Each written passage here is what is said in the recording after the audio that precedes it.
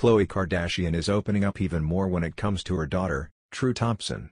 The reality star recently gave fans their first glimpse of her little one and has gotten super real about motherhood on social media. And now, Khloe Kardashian has revealed her name True in a post on her app.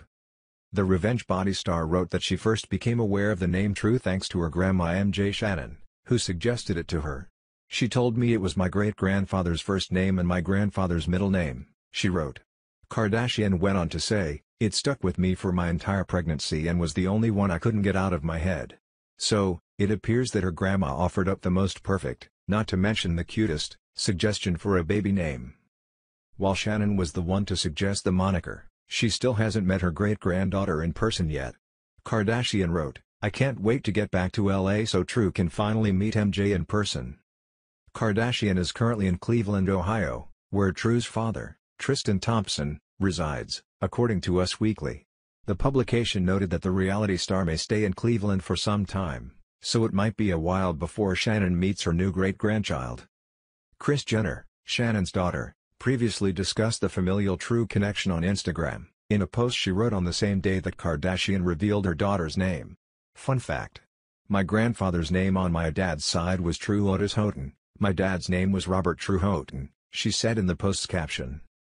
So, Kardashian is really keeping it in the family with her daughter's name. The family name also tied into her desire for a baby moniker that started with a T, a fact she related to her many followers on Twitter multiple times.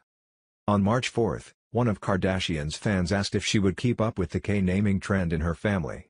She replied that she was leaning more towards another letter of the alphabet. I think a T but K is an option as well, she wrote.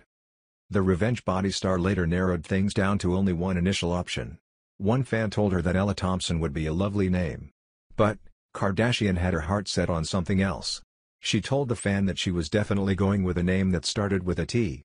So, all of those K-themed name guesses went right out the window. At one point, she also said that the whole naming situation was actually super hard in general. Luckily, it sounds like her grandma helped out on that front in the end. Kardashian's been giving fans even more true updates lately, including this info about how the name came to be.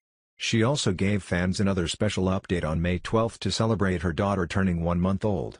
On her social media accounts, the Keeping Up with the Kardashian star posted a short video of True. The clip served as the first time fans got to see her baby girl and it was totally worth the wait.